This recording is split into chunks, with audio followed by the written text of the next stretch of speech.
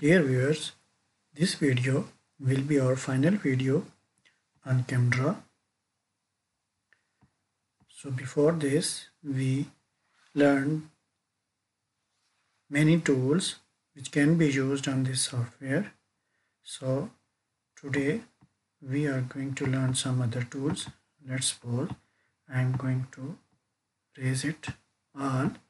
Now we can convert name into structure.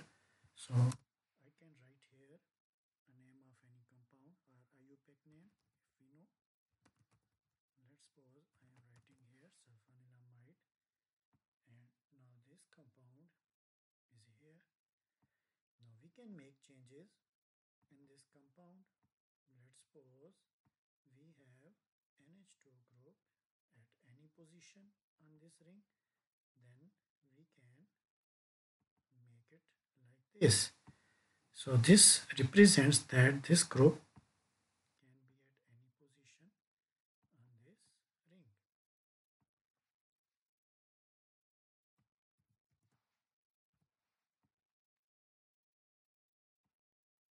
Okay.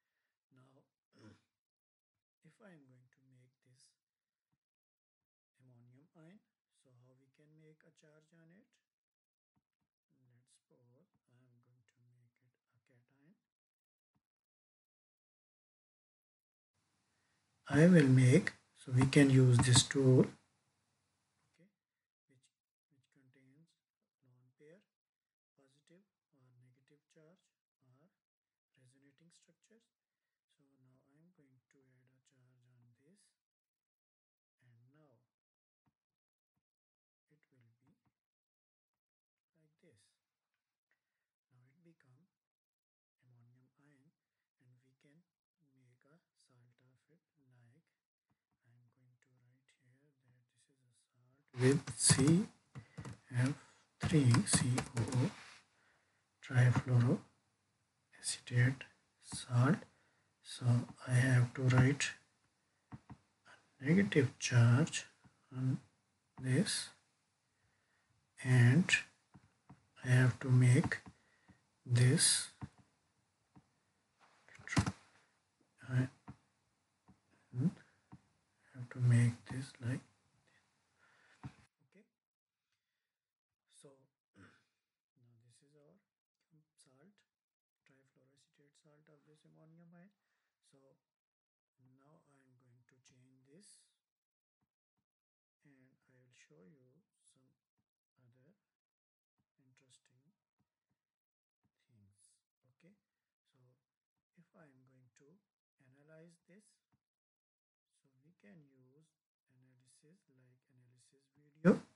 So in this video we can check that its formula exact mass molar mass mass to charge, charge ratio and elemental analysis that carbon is how much percentage of carbon hydrogen nitrogen and oxygen is present.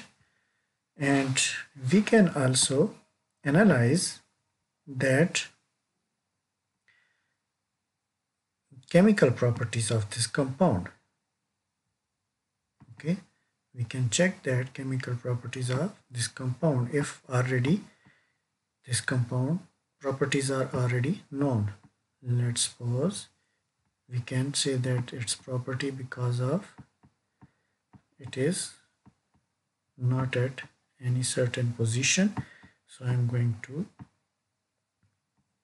fix its position and NH2 now we are going to take this and view chemical properties window now this gives us the properties which are known like boiling point is 700 Kelvin log p value minus 0.02 it's mean this is this is octanol water partition coefficient which gives log p molar reflectivity 43 centimeter cube per mole and polar surface area 86.18 and pK value none and log S this is the solubility oral solubility minus 1.157 so these are the chemical properties we can check and we can analyze this.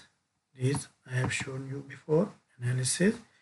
We can also make changes or we can add elements from the periodic table window. So we can change these elements by using this periodic table. So any element we can adjust and finally we can check we can predict proton and carbon NMR of this structure. So if I am going to analyze proton NMR of this compound so we can predict that proton NMR of this compound so the peaks of protons.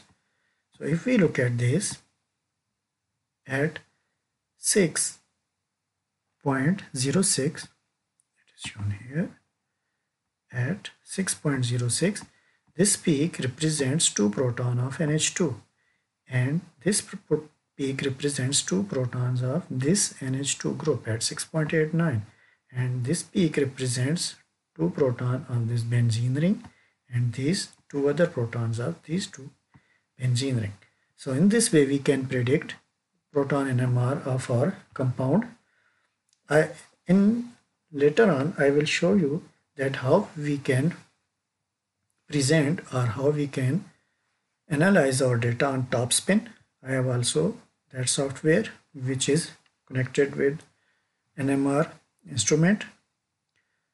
So and we can also analyze carbon NMR of that structure. So we can by selecting our compound like this I'm going to select this. And we can analyze carbon NMR. So we can predict carbon NMR of that structure also. Okay? And we can I have also shown you that we can check structure and clean up structure. So these are our tools. And the, in our previous video we learned these different accessories and tools which can be used and we can use amino acids different amino acids metalloenzymes. We can use hexoses. We can use microorganisms.